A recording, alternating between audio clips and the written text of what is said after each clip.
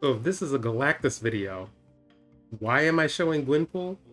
What she really allows you to do is buff Galactus. I just released a Galactus video where I was calling him a fun card and said he's very hard to get off. Gwenpool kind of makes that a little easier. Yes, she is random, but getting any amount of additional power onto Galactus is fantastic. How this originally started was kind of more memey. I wanted a way to completely clear my hands of all cards, and that way I knew the three buffs, six points, were going to go to Galactus to make him a 6-11, which allows him to go off on the last turn that much easier. Uh, that went about as horribly as could be expected, but out of that came this deck. So some of those components of getting cards out of our hand are in this deck still. We have Black Cat, which vanishes. Funny enough, during testing, I've played her a little bit, which is always weird. Uh, I may have some of those screenshots uh, displayed now. And Wasp can get out of your hand easily. We have lower cost cards in Nico and Nightcrawler, and we have Energy Cheat with Hope Summers to get down an early Galactus, follow him up with an Alioth. We have the Nimrod Double Destroy package, which if you've watched my previous videos, you've seen plenty of. We have, of course, Gwenpool, which can buff cards in your hand, which honestly works well with the Double Destroy as well if you can't get Shuri or if you're just not drawing well, but your opponent's also not drawing well.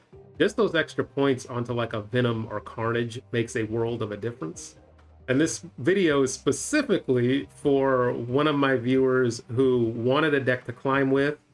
I started at 70. I've climbed to 85 so far. There are a fair amount of bot games, but this deck is legitimately winning against real players. Okay, next up we are against Mick. Nimrod and Destroy, that can get into Sanctum. They have a regular deck. Probably a Surfer Gwenpool deck. Lemuria is the next location. Uh, I hold. There's really nothing to do, nothing to forward my agenda. This is also why your patience, because of the dumb squirrels. you don't you don't want to clog yourself. So turn four is just going to be Gwenpool, I guess. So I think I just snap I will play Gwenpool middle? Question mark? Right? Right? I'm going right because... Uh, because they had less points there, it was tied. So Alioth, if I could get priority and I could play Alioth right to stop their Wong play, so if I play Hope... Hope Nico Wasp? Do I take priority? So we are going way off the beaten path with this deck.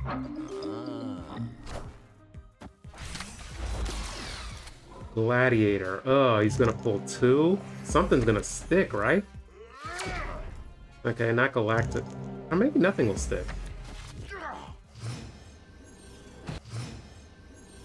It was nice working with you again. Like and subscribe. What deck is this? I mean, do I just slam the Alioth? Is that good enough? If it's something in Surfer? Uh, we're gonna find out. Let's see what you got for me. Okay. Hey. What a what a match. So this one's tough to break down. I had a clear line, which is why I snapped, and it was going to be Nimrod destroy, but then I see the Wong, so I know I have Alioth, so I just hard pivoted to there.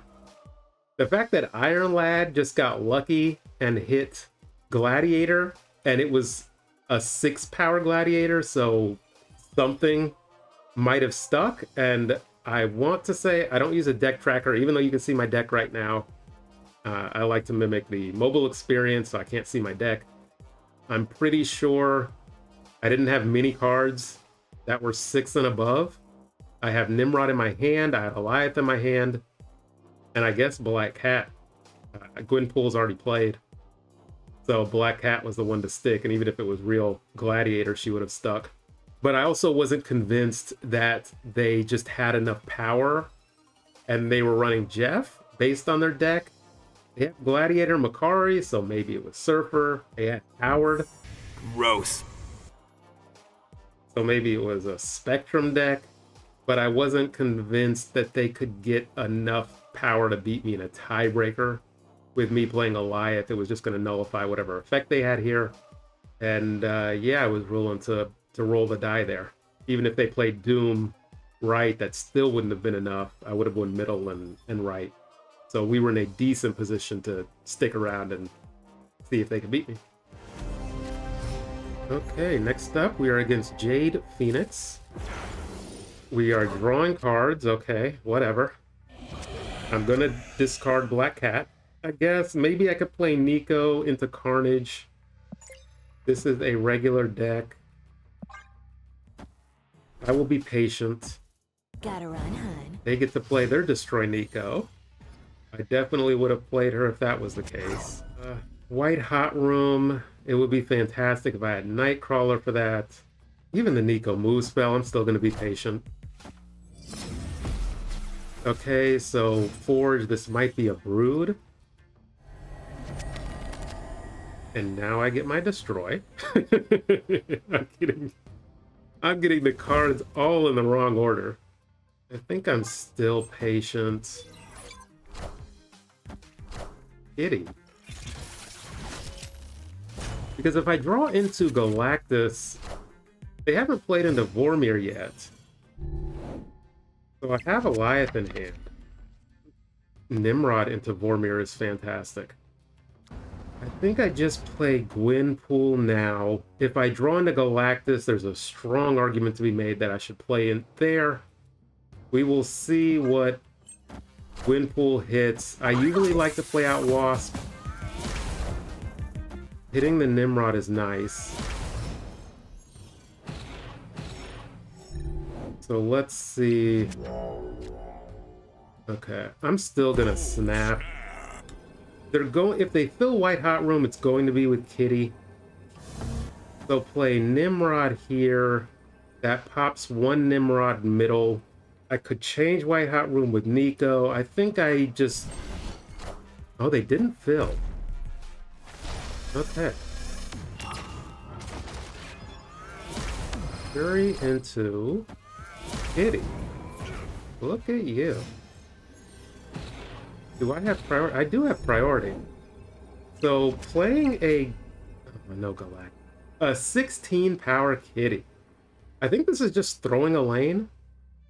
So if I do Venom here, Nico got hit twice. I might be able to pull this out. So I'm gonna throw. I'm gonna throw right and uh, play Carnage. Oh, I need to be careful with space. I guess I'm not... I can only have space for one. Because I'm going to send one here. So play out the Nico here and just add power to the Carnage because... Whatever. I think this is... Okay, so they threw. So this should be a whip. Boy, if I had Galactus. Oh. That was an easy Galactus, right? the unexpected power from the Gwenpool. And let's see if this is enough. It almost assuredly should be. Yeah, okay. So it was Taskmaster. Oh, we got him. Mm. Beautiful. So beautiful. This deck, the more I use it, the more I'm falling in love with it. I love decks that have interesting play lines. To some degree, I've removed reliance from Shuri. So Nimrod got buffed once, which sure, Shuri would would have given Nimrod an extra, each Nimrod an extra four power. So of course that kind of stinks. But because I have Venom that locks in power, and because Gwenpool buffs, did she buff No, she didn't buff Carnage. So she buffed Nimrod once and Nico twice. So I'm still getting power. It's not quite as much as Shuri, but it is a very close uh, second. It, it, it is a very close backup to Shuri, which is just fantastic. And we're just able to slam out power. The opponent is not able to accurately predict how much power because of Gwenpool. We know exactly where we're going.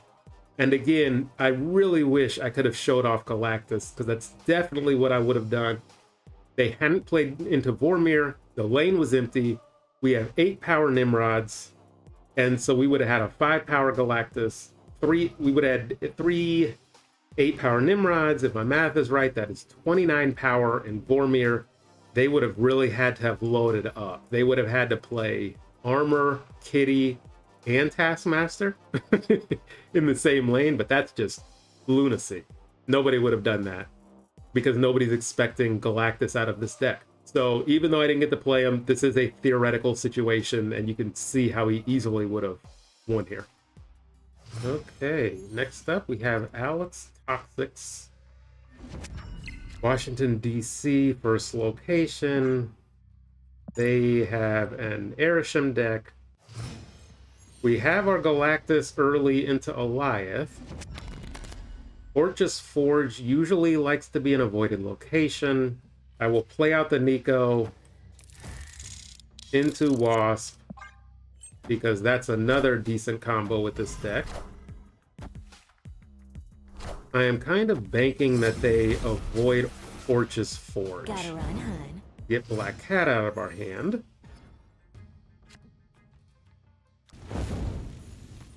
And then hope.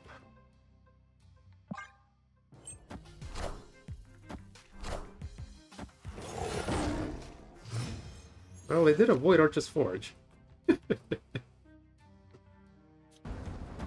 Nightcrawler for bonus power.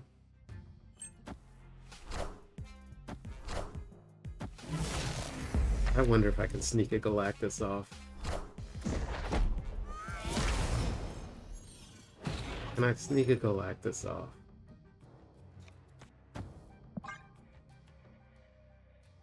Eventually.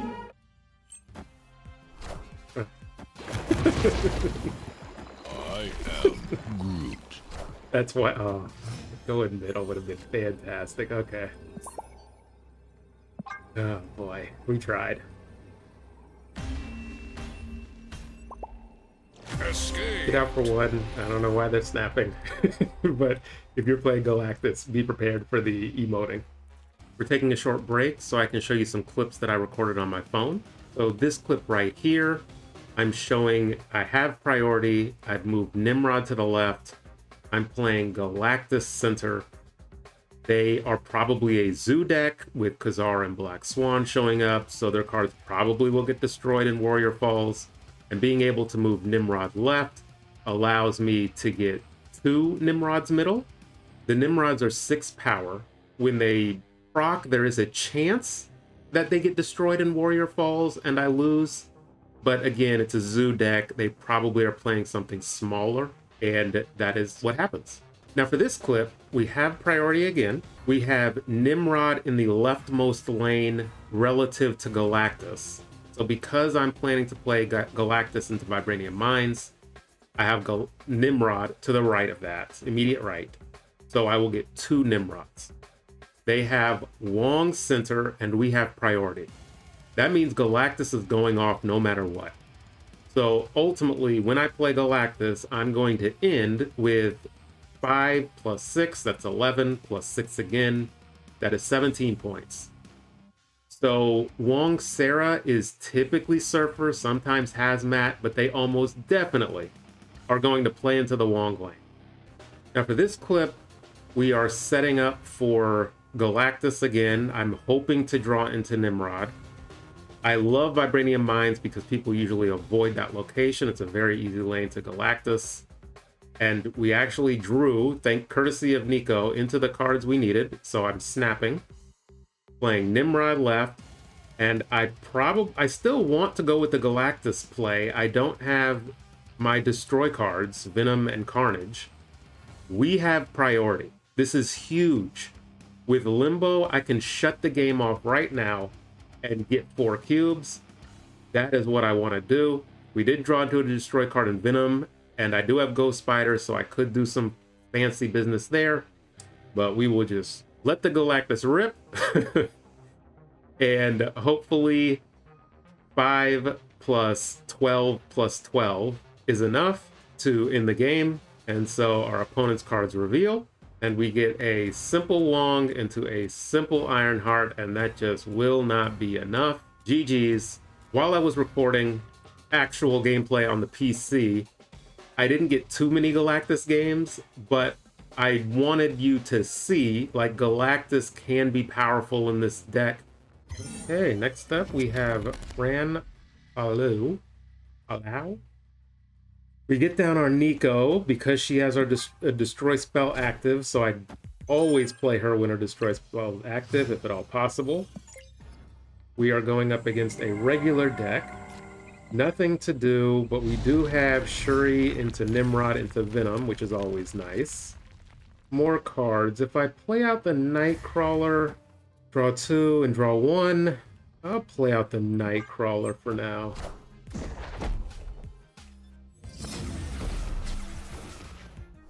Okay, Sebastian Shaw, so we are going up against Surfer. Galactus is a no-go middle. I will play Shuri here into Nimrod, and then Venom. Okay, I am going to snap. They've given me an extra turn to draw into Galactus, and honestly, even if I fail with the Galactus, I still have time to recover. Uh, I'm going to snap this. I also have Alioth in hand as well. So I can potentially guess where they're going to play Surfer. They're probably going to play Brood into Xandar. And so my guess would be Surfer over in the Sera lane. But now I cannot Galactus, so that's fine. So I will do my best to take priority. And so I will Carnage here and I will play Gwenpool over here. Does that take priority? They might play Surfer now, so they might do Wong into Surfer now. And I really want to take priority in the worst way. So I will play Venom here and Carnage here. Uh, let's get more points on the Carnage. Yep, there's Wong. Into Surfer. Oh, into Mystique. Into Surfer now? And then an Odin? Oh, into Hazmat. Okay. Uh-oh. Rot roll. Do I do I stick this out? Because I did take priority. So they might play Surfer into or Odin, and uh, there's also Luke Cage. So I mean, there's no decision here. I definitely Alioth the Wong lane. This is why we have Alioth in the deck. So we did our double destroy. They gave us an extra turn with Limbo. Thank you. And uh, I am going to be super overconfident and walk right into this. So we we blast the Alioth, so they can't do any of that. So there's the abs man. That's not happening. Brood over there. Oh, not quite. So we we kind of read what they were doing. We I definitely knew to shut down the Wong lane. I had to grab priority. You saw that. A Wong lane with a free space. You see that. You've got to throw down an Alioth it was key that I read what they were doing on turn five, going into turn six, which is why I stressed gaining priority with Alioth in hand to shut down their Wong. I expected Surfer. I know this is the the toxic Sera Surfer hazmat.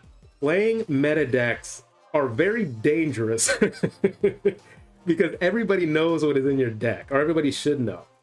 And so I'm familiar with the meta decks. People are not familiar with my deck. So I have kind of a built-in advantage in a lot of these matchups. As long as I stay a small content creator and I'm not influencing the game, I'm able to come up with these homebrew decks. People just walk into these four and eight cube losses because they don't know what to expect from my deck. Okay, next up we have Profound Grill. Nexus. Now the funny thing about Nexus is if I can get enough Gotta run, hun. if I can gain priority, I can get Galactus to go off in a different lane. So this is going, thanks to Starlight Citadel, this is going to be a guessing game. Ravonna, maybe they forget that Starlight Citadel is going to change the locations. Boy, the Nico Destroy spell is super nice. I'll see this through on the snap. Let's see what they're up to. Ooh, Mr. Negative. Okay. There is our Galactus into Alioth. So now we hope Nexus switches middle. that is all we are hoping. That Nexus switches middle. Come on. Show me middle. No, but I do have priority. Oh, this is going to be ugly. Oh, I'm sorry for what I'm, I am about to do. So I want 7 energy next turn, so I'm going to play Wasp, middle, and Galactus got hit by Gwenpool for 9. That is such an easy proc to have go off. Oh, this is, this is going to be a massacre. One spot open, there's no way they play here. And even if they do, I have 7 energy. I can play a 12 power Alioth and a Nico. This is just going to be fantastic. There's no way they gave me 4 cubes, yes, and there's no way they give me 8. Not a chance they give me 8 cubes. Oh, that was beautiful. Absolutely beautiful because playing Alioth, there is nothing in a Mr. Negative deck that is that high power. Null, but the Alioth obliterates Null. And so this is just GG. Maybe they, maybe they do. They played Null. Oh, we got eight out of them. Oh, Sage. Okay. Thank you for your eight cube donation. That was absolutely filthy and disgusting.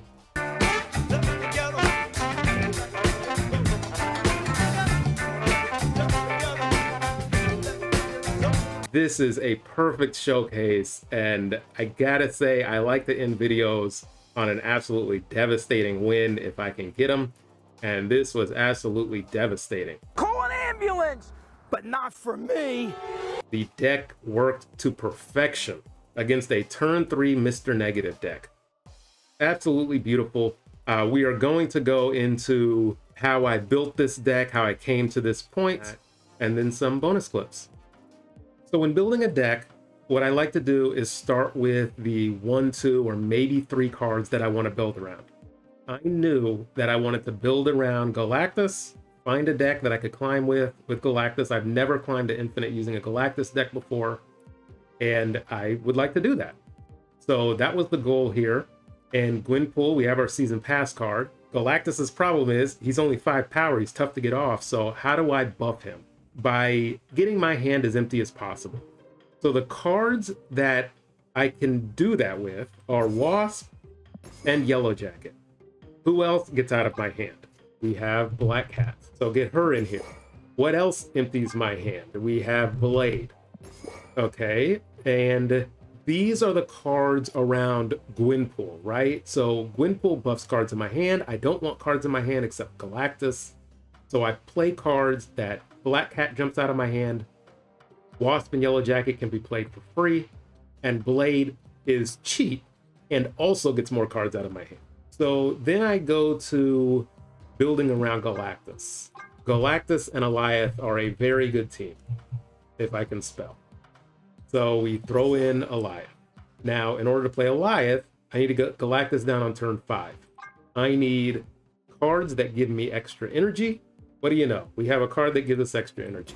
Oh, I could maybe throw Arishem. I haven't experimented with that, but that cuts drastically the consistency of the deck, so I won't mess with Arishem for that. I could also go with Magik. She extends the game. I might be able to get a sneaky turn six Galactus off that shuts down Limbo. And then we have Nimrod.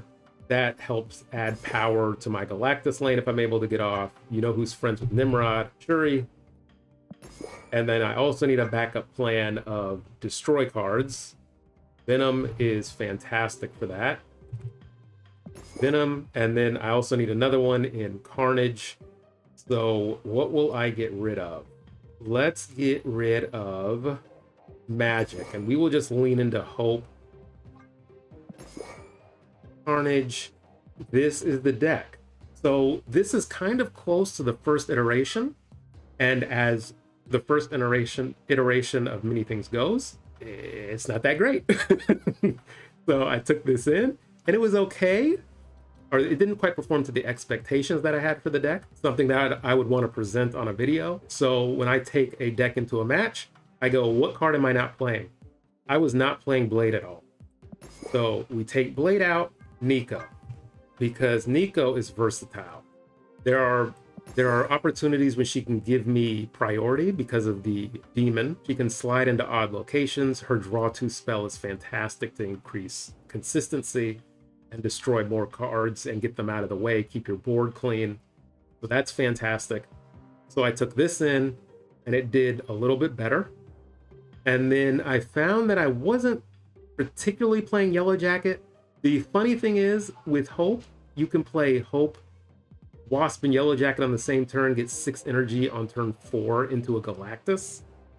And then you can play Shuri into Alioth, or Black Cat into Alioth, or Gwenpool and Nimrod into Alioth. So that's how I go about building a deck. I don't think this matches exactly. Well, I didn't take Yellow Jacket out, but I will go back to this final version, which I think the only difference, yes, is Nightcrawler. So the thing that Nightcrawler does is it's a card that I can play early without worrying about any debuffs, and I can potentially play games with moving him around. He is a cheaper Jeff. So there are some substitutions you can make. So feel free to ask me if I've made any modifications after this video it goes up live. I'm almost positive I will have hit infinite by then. I'm 93 right now. And so if you're interested, stay tuned for some bonus clips. Monster Metropolis. America Chavez always makes me think bot. Let's see what they're up to. Yes, it's a definite bot game. Easily a bot game. We get Galactus up to 9. So Galactus definitely goes off. So you see the buff.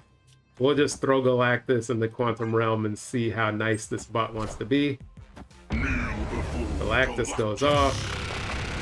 He does go down, get reduced. He gets negative 3 power, so I'm at 6.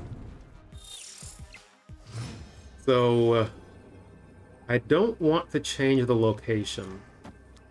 So I will play Nimrod and then Nico. And we'll see how nice this bot wants to be. If they are playing Iron Man or not. Okay, there we go. The bot was very nice and gave me the win. And uh, bonus clip right here. I'll play Hope middle. Oh, actually, it can work. Because if I play Hope middle and Wasp here, perfect. This is another use case of why Wasp is in the deck. Man, and this has got to go in the bonus clips because it's against a bot. But I definitely want to show some of these play lines. So, Hope into Wasp allows me to play a five cost now. So depending on where this slides, that is where I'm going to play the Venom. So this is just me showing the play lines. This is exactly why I played out Hope into Wasp in case Nimrod goes middle. And now I have the Venom play here. And I guess I'm hold on the Nico. Sadly, I think playing Venom into Hope actually doesn't trigger her bonus power, so that's something to note uh, that you'll want to avoid if you want the bonus power. But here we're playing into Vault, so we're, we're fine ultimately. We're going to play Alioth left. I probably could play him right, but why why take that chance, right? They're completely locked out in both lanes, so again, that's why this is a bot play. This is probably a retreat. so cue it up, unless, oh, the bot wants to be nice. So we almost assuredly win here. Yes, we do. So you saw a unique play line, but it was against the bot, so we just move on. Make sure you maximize your Q gains when you're playing bots, please. Snap on them if you see any wacky play. It's like a weird mystique. Let's see. Gwenpool. They haven't snapped, so I'm sticking this out. Hey. Hey, guess what? I don't think they're modocking.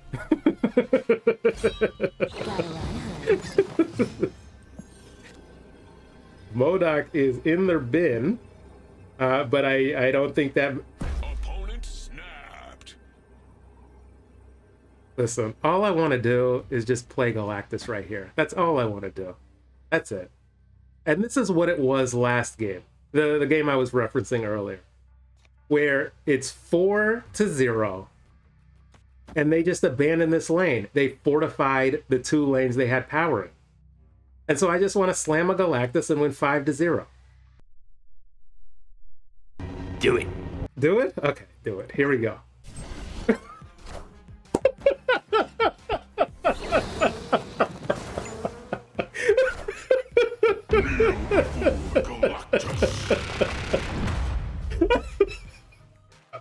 that was all you show the tap. You get you get full credit for that.